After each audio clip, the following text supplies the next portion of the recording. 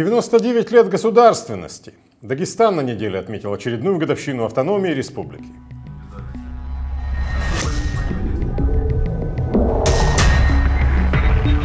Преступность в три раза ниже, чем в среднем по России.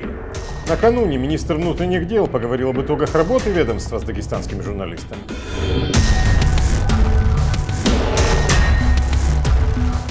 Лечила травм физических, а получил душевную. Почему видеообращение дагестанского врача так всколыхнуло интернет? Узнавали мои коллеги. Здравствуйте!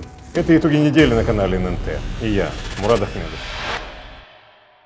Точка отчета нового этапа в дагестанской истории.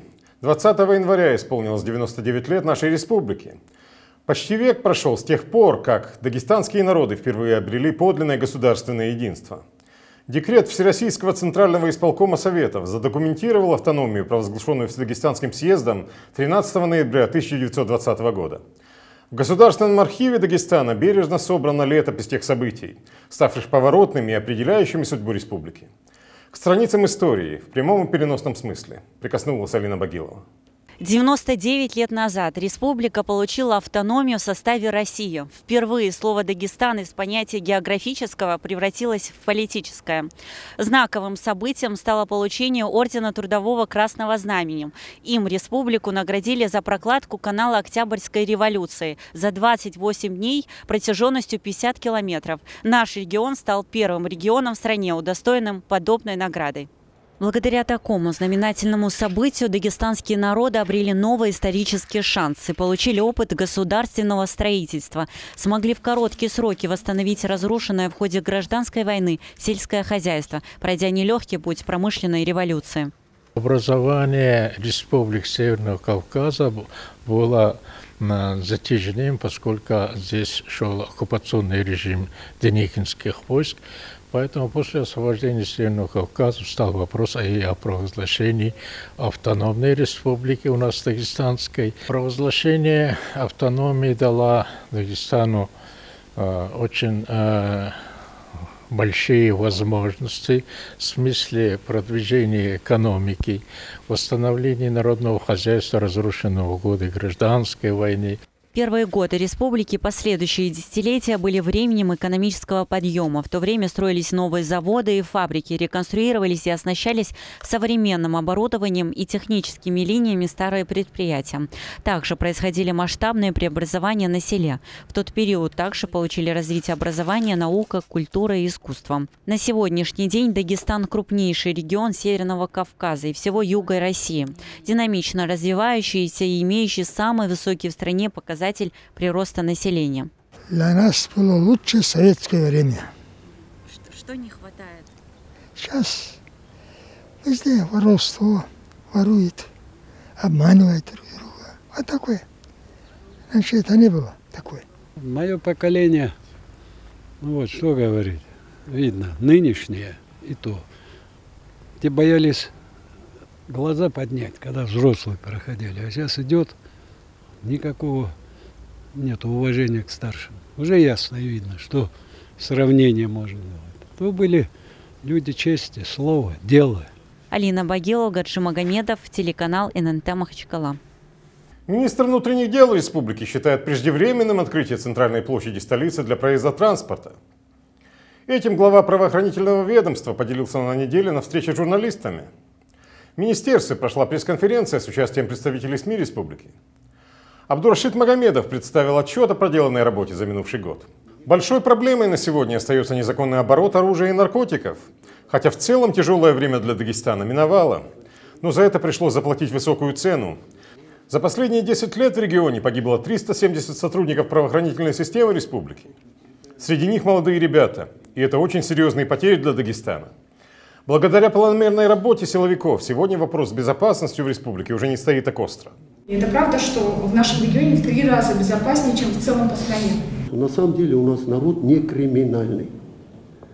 И само, сам факт, что в полтора раза меньше преступлений регистрируется, чем в Северо-Кавказском федеральном округе, и в три раза меньше. И это идет не один, это не, не статистика одного года, это десятилетие уже идет это все.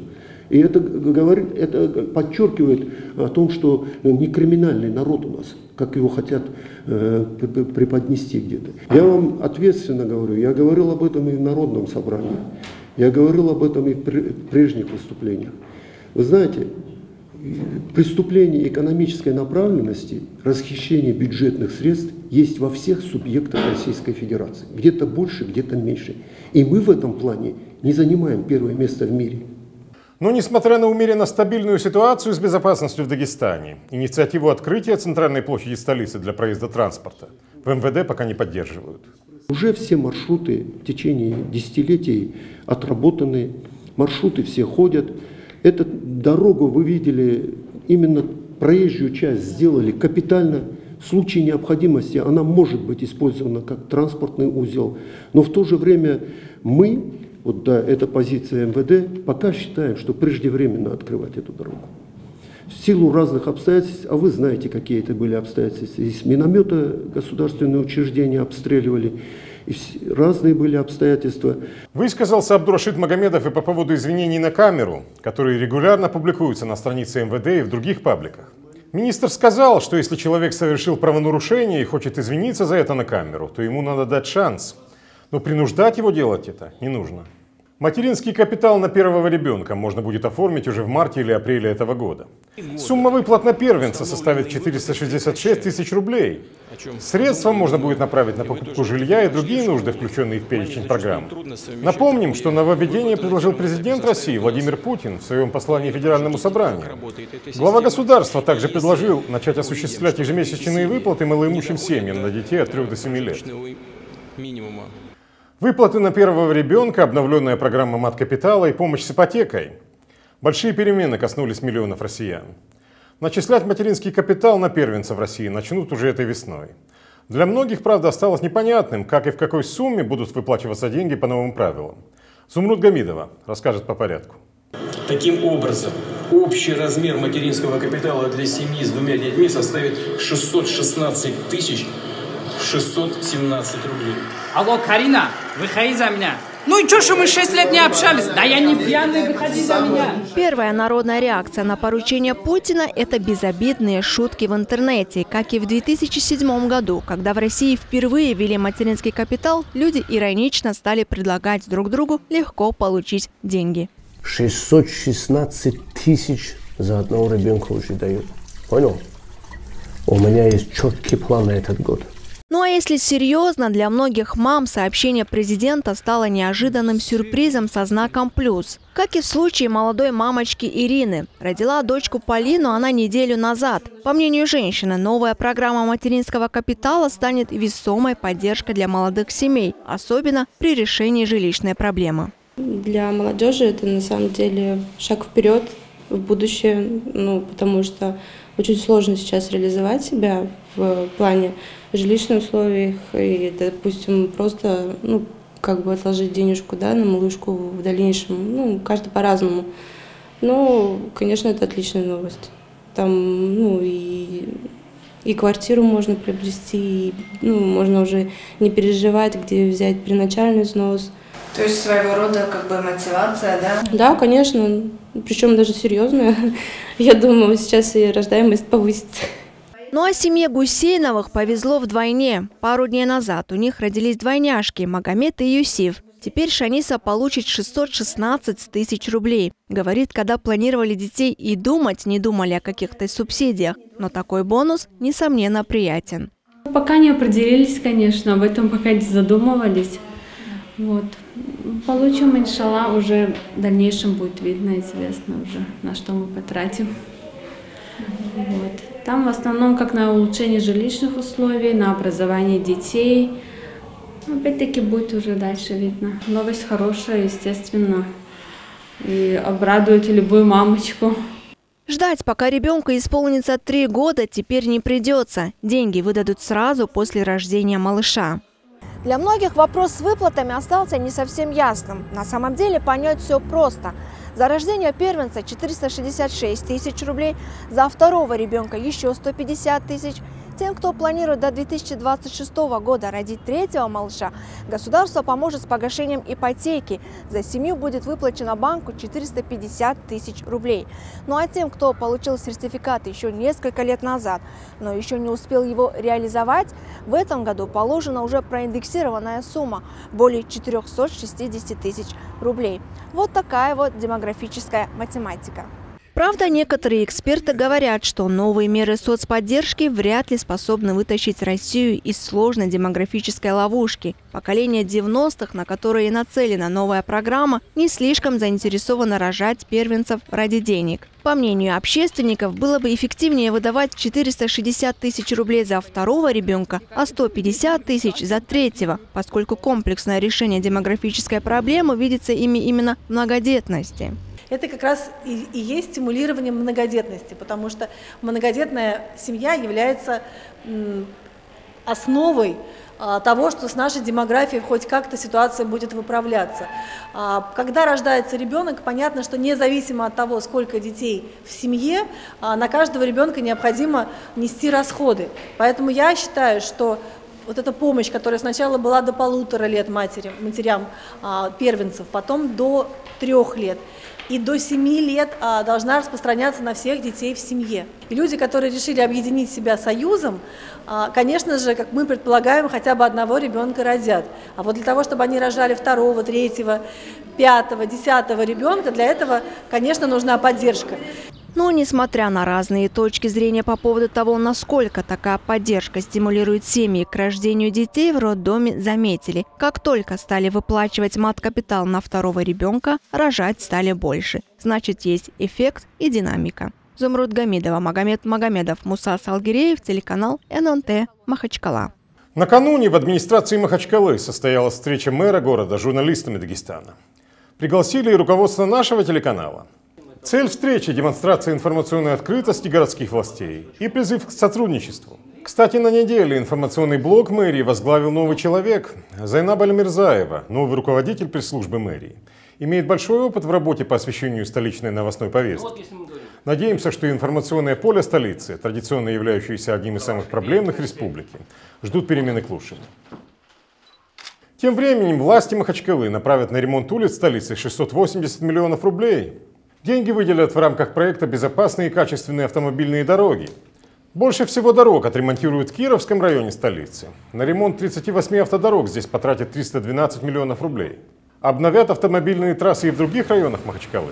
Так в Ленинском районе будет проведен ремонт 19 дорог. Кроме того, на 67 участках заменят светофоры, дорожные знаки и информационные щиты. Накопил на поездку в Хат самостоятельно. Герой нашего следующего сюжета – десятилетний мальчик – Четыре года назад его мама поехала в хадж без него.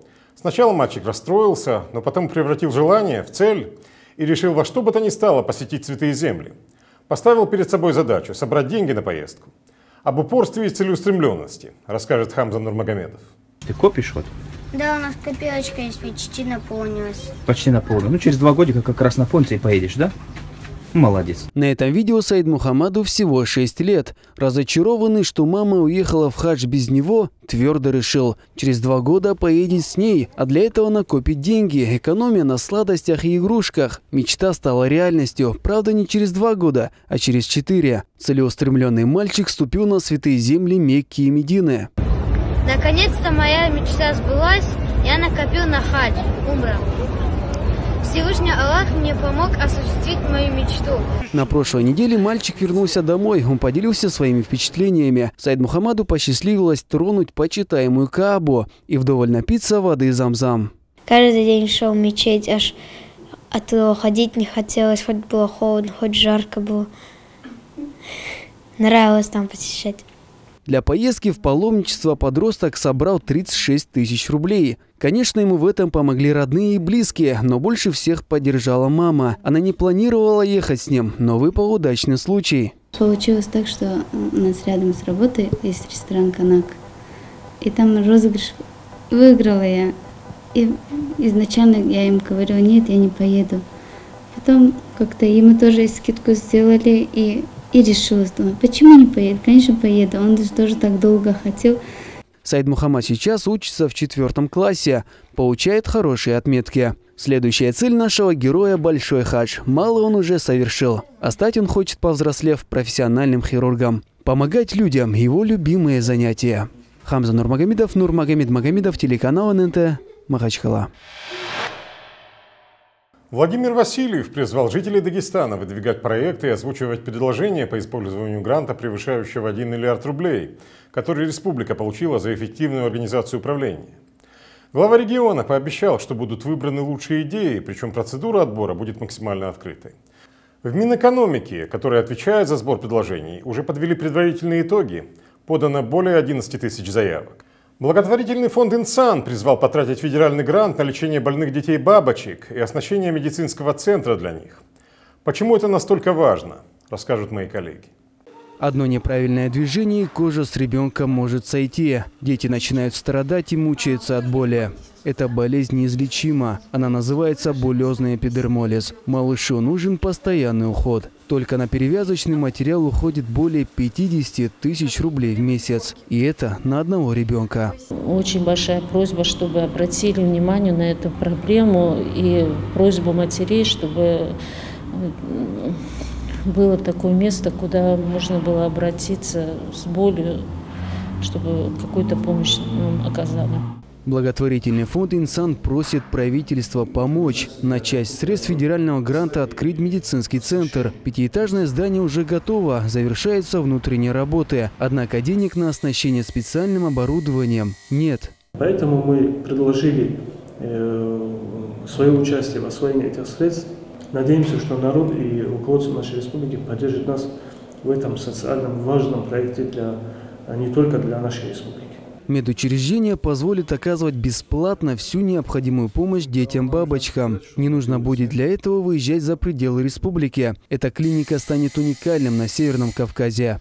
Она придаст силу уверенности не только больным детям, но в первую очередь родителям, которые годами оставались наедине с тяжелым недугом своих детей. Создание условий для тех, кому нужна неотложная помощь – залог процветания республики.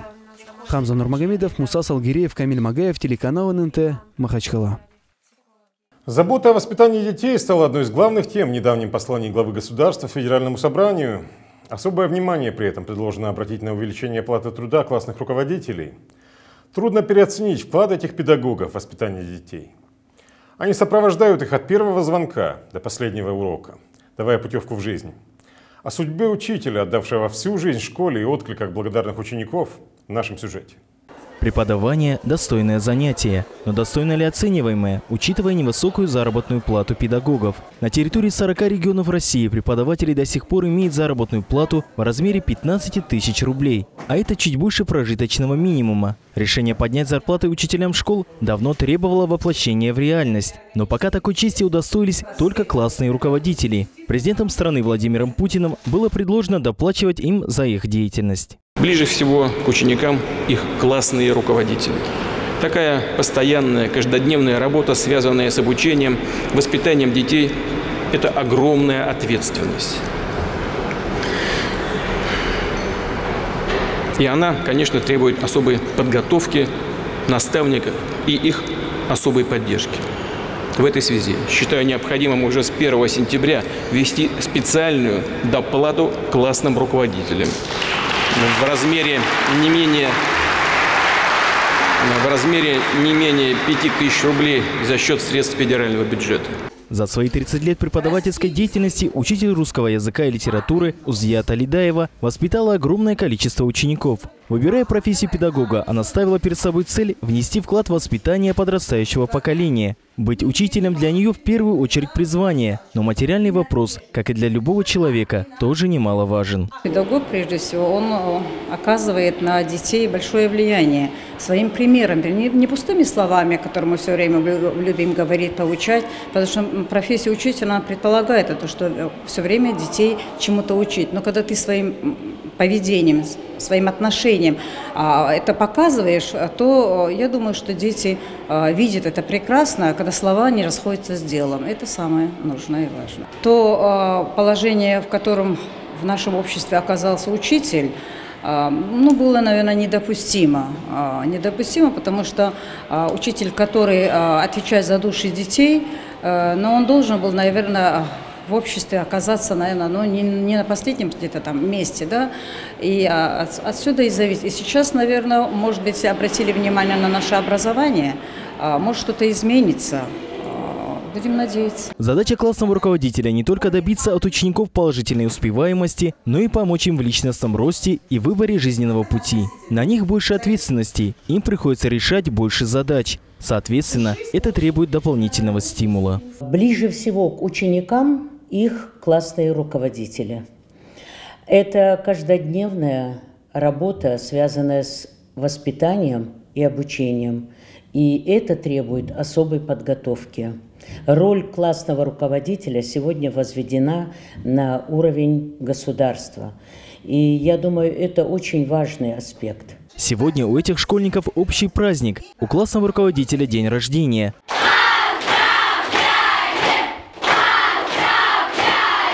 Для них она уже действительно стала второй мамой. За каждого переживает, за каждым следит, чтобы он не отставал в учебе. Узията Лидаева на хорошем счету у руководства. Все ученики и их родители довольны ее методами преподавания. Для них она уже как родной человек. Это очень хороший педагог.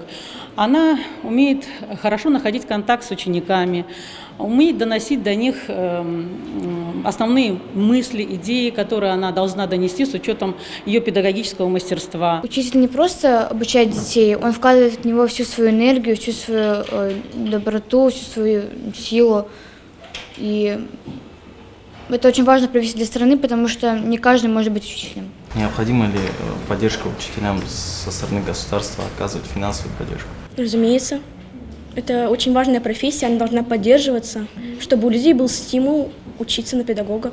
Любой молодой человек рано или поздно становится перед выбором профессии. Многие ли из них в будущем захотят стать преподавателями, так как престиж профессии, какой бы благородной цель она ни имела, зависит в том числе и от ее оплаты. Решение вопроса целиком и полностью зависит от руководства страны. Первые шаги сделаны, и хочется надеяться, что и в дальнейшем увеличение зарплат учителям не снимут с повестки дня. Ведь посвятившие свою жизнь воспитанию подрастающего поколения люди должны иметь хорошую мотивацию. Абдулла Алиев Магомед Магомедов, телеканал ННТ, Махачкала.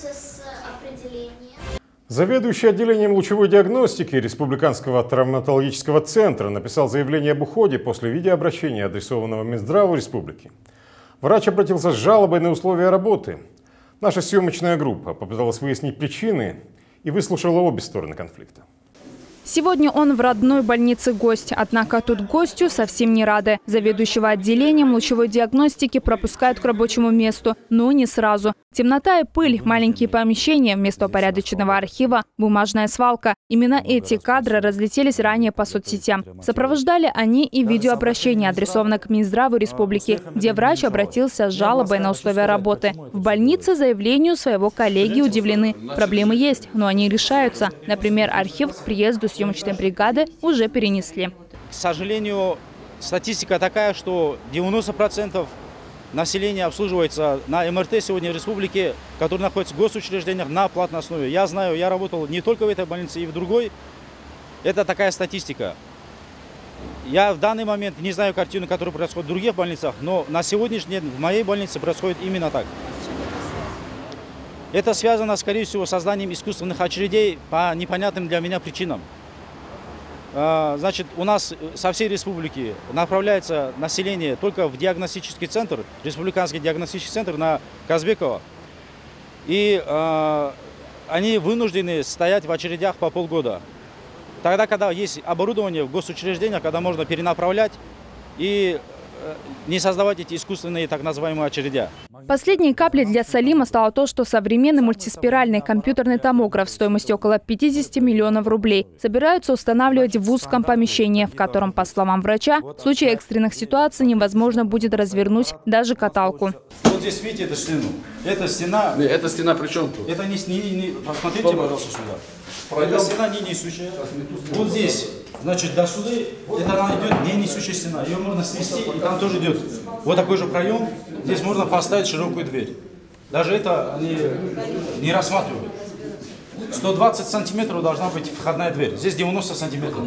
Здесь сюда каталка широкая не заедет. Больничный произвол или капризы врача. У главврача своя версия происходящего. Помещение для установки дорогостоящего томографа выбрал сам Салим, а предложение о расширении кабинета поступило в процессе ремонтных работ. К тому же место установки аппарата выбрано не случайно. Кабинет располагается на первом этаже, рядом с приемным отделением, чтобы в случае необходимости максимально быстро провести обследование. Помещение уже готово. Проект согласован с компанией-поставщиком оборудования, специалисты которого и подготовили техническое задание. Приехали проектировщики фирмы Philips, которые поставщики этого оборудования. Посмотрели это помещение, другое помещение посмотрели.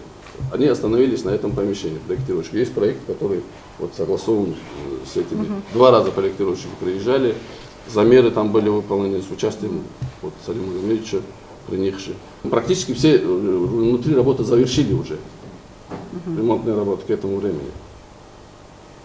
Салим Агмеш обратился, что это стену надо вынести. Я ему сказал, я не могу просто, это же не, просто так, захотел я вынес, не захотел не вынес. Это же не частное, это требует определенных там, процедур. Там же у нас находится приемное отделение, рядом рентген-кабинет. Мы перенесли туда же УЗИ, чтобы это все в комплекте в одном месте было. Экстренный поступает оттуда. Это все рядом, э, под рукой, как говорится. Это же не мой каприз, это же было, я опять-таки возвращаюсь, согласованно с заведующим отделением, он предложил, я э, опять-таки возвращаю это помещение. Я с ним согласился, чтобы э, раз у нас экстренные пациенты там поступают, чтобы туда-сюда не таскать пациентов, все, что можно было сделать на месте. По словам взбунтовавшегося врача, этот томограф ждет та же судьба, что и МРТ, на котором, по его словам, за пять предыдущих лет 90% исследований провели на платной основе, что принесло примерно 30 миллионов рублей. При этом министерство говорят обратное, отмечают, что в одну смену в данном отделении бесплатно по ОМС обследование проходит порядка 60 пациентов. Это 80% исследований. Какая из этих цифр соответствует действительности, разбирались и активисты ОНФ. По поводу именно э, установки этого аппарата. Здесь речь идет о том, что Роспотребнадзор может не дать акт соответствия э, для вернее, уже для проведения дальнейших работ. То есть, когда аппарат будет установлен, Роспотребнадзор может не принять это помещение и не разрешить работать на этом аппарате, потому как не будет соответствовать тем техническим условиям, которые были предъявлены. Главврач сегодня ссылается на то, что значит, поставщик оборудования принял это помещение, техническое задание было одобрено, и ремонтные работы были проведены в соответствии с требованиями поставщика. Но, значит, я э, думаю так, что мы сегодня обратимся в Роспотребнадзор, чтобы они дали предварительное заключение, возможно ли установка аппарата и дальнейшего эксплуатация в тех условиях, которые на сегодняшний день созданы руководством больницы.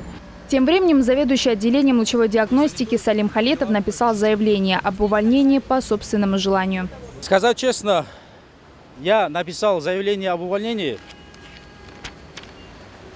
и, значит, заявляю, пока лично представители Минздрава и лично министр передо мной не извинятся за ту клевету, которую на меня навели, я ее отзывать не собираюсь.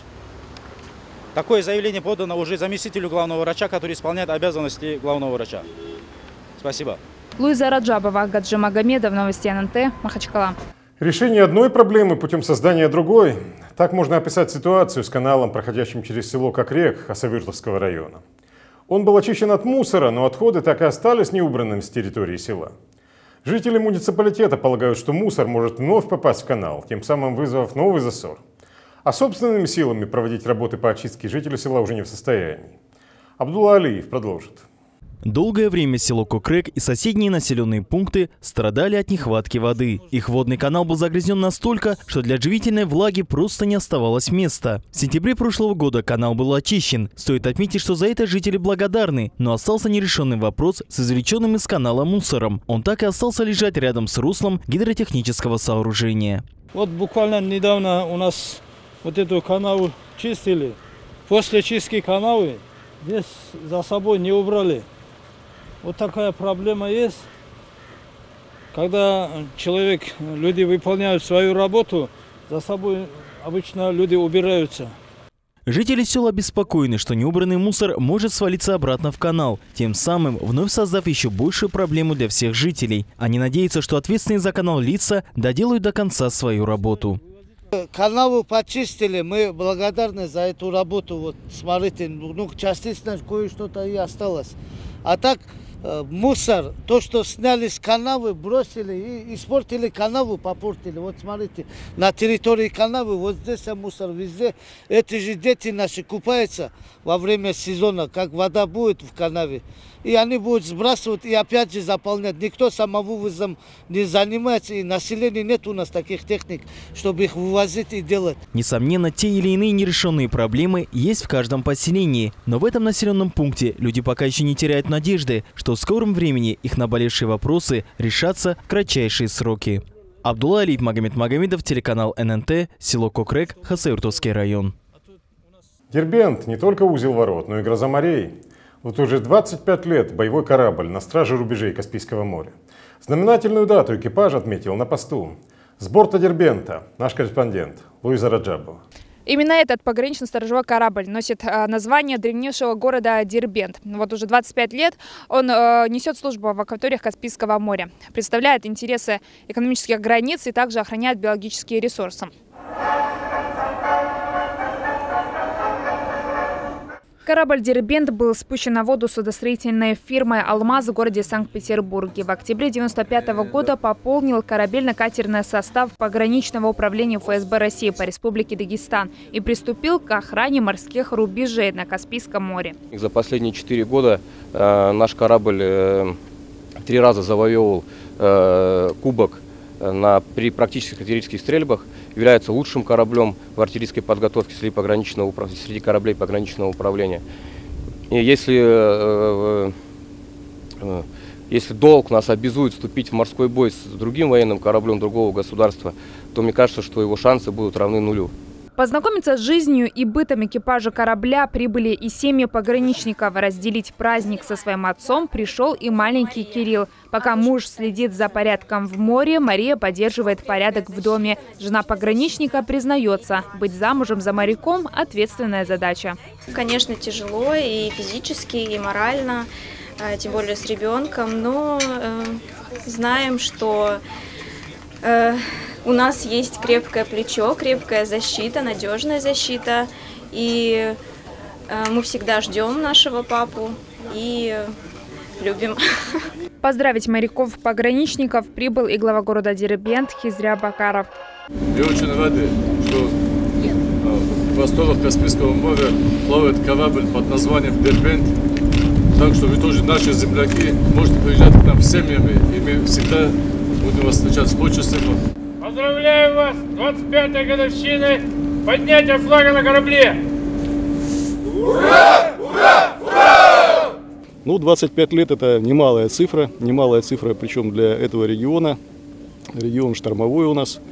Я еще, наверное, раз повторюсь, что э, результаты службы этого корабля, оперативно-служебной деятельности, они очень высокие экипаж не просто так занял первое место. Тут есть у нас цифры по задержаниям нарушителей, есть цифры по выполнению задач боевой подготовки очень хорошие. То есть результаты это на фоне э, всех остальных кораблей все-таки первое место по стрельбе это ну, тоже достаточно серьезно. Вот уже 25 лет пограничный сторожевой корабль «Дербент» несет службу в акватории Каспийского моря и выполняет задачу по охране морских биологических ресурсов и экономических интересов России, задерживает нарушителей государственной границы страны. Все эти годы сотрудники именного корабля гордятся тем, что Родина доверила им эту непростую службу и с честью несут боевую вахту. Луиза Раджабова, Гаджи Магомедов, Новости ННТ, Каспийск. Выставка «Пунктиры памяти» открылась в Национальном музее республики. Виды, пейзажи, ландшафты, исторические места Дагестана конца 19 и начала 20 веков – все это смогли увидеть присутствующие на старинных фотографиях и фототипии из фондов музеев и частных собраний. В познавательное путешествие в прошлое Дагестана через ретроспективы фотографий погрузились и мои коллеги. Мне хотелось просто показать, э, вот знаете, очень разновекторно, то есть максимально раскрыть, вот знаете, вот как изнутри взять и вот так вот и раскрыть этот букет под названием Дагестан, показать каждый листик, каждое дерево, каждый, каждую тропинку, те места, половина вещей, э, половина э, строений, половина объектов, которые вы здесь видите, их не существует. В нем собраны фотографии очень редкие, А, собраны фотографии Дагестана очень разного. Его можно, э, условно, выставка можно поделить на такие разделы, как открытые храмы, места силы, а, крепости оборонительных сооружений, исторические места, природные памятники. Почти вся выставка представлена в черно-белом формате. На фотографиях остановлены мгновения истории. Заброшенные аулы, древние святыни, места военных действий, кладбища шахидов и много других ценных фотографий, на которых запечатлены знаковые исторические события. Она посвящена последнему дню штурма аула Хульгу 22 августа 1839 года, когда все-таки штурмом это, это укрепление, вот это вот было взято. 80 дней держали оборону царские войска. Небольшая, небольшой отряд во главе с Шамилем находился здесь и удерживали 80 дней. Что такое 80 дней? 80 дней для лета в горах это вот кто знает, тот поймет. И перед нами два, эм, значит, два вида одного и того же места. Это кладбище, которое называется кладбище шахидов. Оно находится в селении Гимры. Э, оно привлекает сюда внимание всех своими необычными стеллами надмогильными. И здесь похоронены все те, кто сражался в период Кавказской войны. На территории Дагестана находится более 8 тысяч культурных и исторических памятников. Подобные мероприятия – это уникальная возможность окунуться в прошлое, увидеть его через призму фотографий, будто бы проходя по легендарным местам, овеянным трагической славой. Такая ниша какая-то, куда складываются надмогильные стелы, которые находятся в, окружной, в округе и на дороге. Они все христианские. Вот, пожалуй, одна из самых известных рукотворных достопримечательностей Дагестана – Черкейская ГЭС, давшая название плотине Большое село вместе со своей самобытной историей, как Атлантида, осталась теперь на дне огромного водохранилища. Под толщей воды оказалась погребена память многих поколений. И вот это Черкей в предгорьях, даже Добынакское крупное село, там был большой минарет, мечеть, очень зажиточно жили люди. Сейчас вот где куда все ездят, а, Слакский каньон, Слакский каньон, вы не понимаете, что вы, по, что, вы, что вы по, по, по, по, вам по могилам-то катаетесь. Вот, фактически. Потому что ушел, ушло не только село, ушло это древнее кладбище, ушли э, археологические захоронения огромные. Алина Багилова, Гаджи Магомедов, телеканал ННТ Махачкала. И в завершение о спорте. На проходящем в Красноярске Гран-при Иван Ярыгин по вольной борьбе определились обладатели первых золотых наград. С чемпионами поговорил мой коллега Курбан Рагимов. Он расскажет, как развивались события на турнире. Именно этот эпизод за пару секунд до финального свистка решил судьбу золота в весе до 65 килограммов. Ставший открытием турнира 20-летний Курбан Шираев сотворил главную сенсацию Ярыгинского. Хасавиртовец вырвал победу в схватке с олимпийским чемпионом Сосланом Рамоновым. Уступая по качеству балла, он и его тренер Махмуд Магомедов до последнего верили в свои силы. Я очень сильно верил, конечно же. Очень сильно хотел выиграть тоже думал, сейчас сделаю, сейчас сделаю атаку. И как видите, в конце, алхамдулилля, получилось. Мы до этого с ним встречались на Аланах. И я уже прочувствовал его, знал как там, что он, ну, уже знал, что будет нелегко, конечно же, до конца боролся, выложился. И, конечно, это большое для него, это большое событие, что он выиграл а, такой турнир. А, выиграл в финале такой схватки олимпийского чемпиона, обыграл его тактически, где-то поймал, обхитрил. Это большой плюс. Но с этим плюсом и дальше надо работать, дальше надо еще больше улучшать. Дальше будет все сложнее, и поэтому надо еще больше работать. После финала в категории до 79 килограммов Дагестан однозначно выходил в лидеры общего зачета. Все это потому, что золотую медаль, как и в прошлом году, оспаривали воспитанники училища Олимпийского резерва. Активно прогрессирующий Магомед Рамазанов оказался сегодня удачливее призера чемпионата мира Ахмеда Гаджи Магомедова, который вернулся на ковер после почти годичного простоя. В этой же категории бронза у еще одного хасавюртовца Халила Аминова. Тяжело было проводить свои коронные приемы, даже, не тоже коронные, даже которые более-менее умею. Хотел провести проходы, нырки, но у него такая своеобразная тактика ведения борьбы. Вот этот актив, можно сказать, спас, да дал мне возможность выиграть. То есть желание? Да, желание и вот это напор, можно сказать.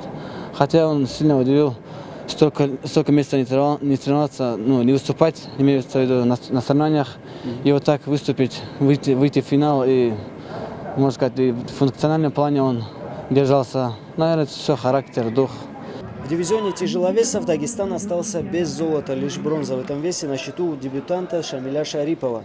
Сегодня в дневном блоке соревнований стали известны имена финалистов в оставшихся четырех категориях. В наиболее конкурентном российском весе до 74 килограммов лучше всех себя проявили вольники из Дагестана Магомед Расул Газимагомедов и Разамбек Жамалов. Они оба прошли серьезных соперников. Газимагомедов взял верх над фаворитом турнира из Алании Хетиком Цаболовым, а Жамалов поочередно одолел крепкого Тимура Бижоева и чемпиона мира Магомеда Курбаналиева. Победитель этой пары, вероятно, будет претендовать на место в олимпийской сборной.